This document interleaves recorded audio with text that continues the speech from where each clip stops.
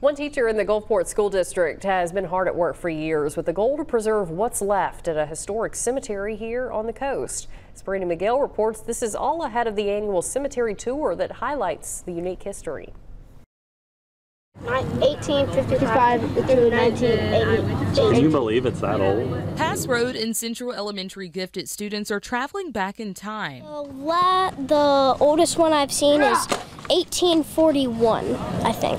Right in their backyard at the historic Mississippi City Cemetery in Gulfport. Um, we reached out several years ago to the Historical Society of Gulfport um, and asked them about the cemetery. Uh, it's located right behind our school here at Pass Road, and that was really the start of this um, working together. As Melanie Davis's fourth and fifth grade students grew hungry to learn more about historic grave sites and how to preserve them, she then partnered with the University of Southern Mississippi's anthropology department in Hattiesburg. Uh, we've talked a little bit as I've kind of circulated around about the different stones and the different decorations here.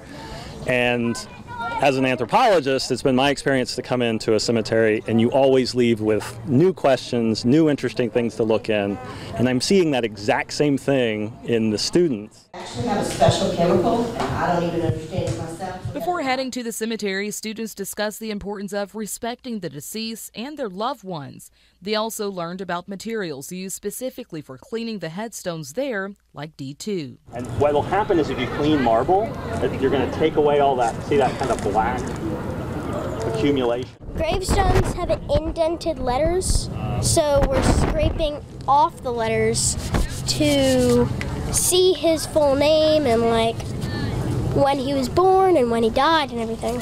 Historical Society of Gulfport president Betty Shaw says it's been a big community effort to keep the cemetery up and the history alive. It's taken a lot of, of uh, cooperation from a lot of people, a lot of schools, a lot of communities. It's been a great project, and many people don't know it, but this part, Mississippi City, was a city long before Gulfport. It was, uh, it, it was uh, of course, an annexed in the 60s as a part of Gulfport, but it predates the uh, founding of that city. In Gulfport, Brandy McGill, WLOX News Now.